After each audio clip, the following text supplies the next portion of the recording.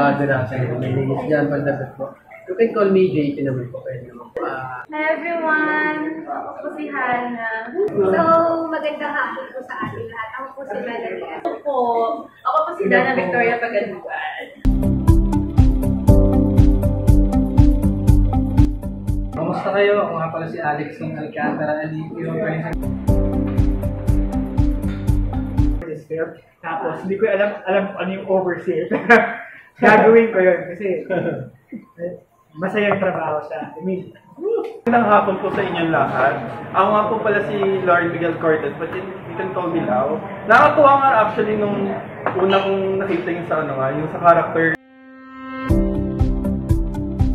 This One Love is uh, one of the uh, is, is the first uh, full-length film na gagawin out of passion, passion project. Alright guys, uh, my name is Clifford. I'm with...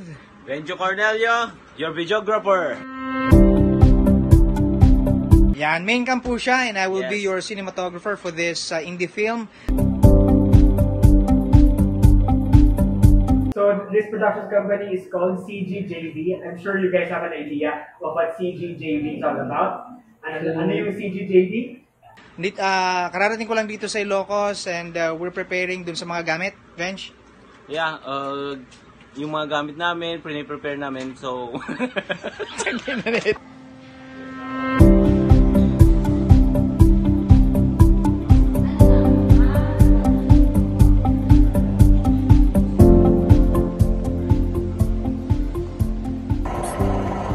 Gwapo na. Okay lang yun. Kaso wala naman, hindi ko talaga feel. And he went to abroad too. Ma'am, try lang. Yeah, ako ay nasay ni boss. This Saturday na, di ba?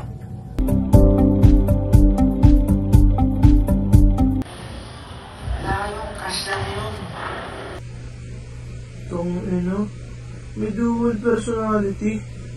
Sobrang lamig. Maganda view nila. Marami silang historical places.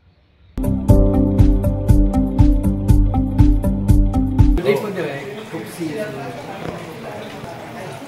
Soon po. See you. Hi, I'm Rogin po. Ako yung PE dito at Hey Direk, hi Sir Benjo. Hello po, Derek. Namimiss na po namin kayo. Sana magpagaling po kayo. Uh. Boss Clifford, Boss Benjo, long oh. time no see.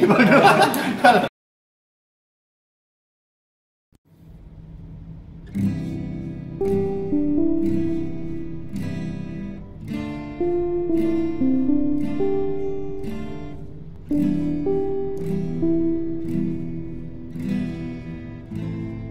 Música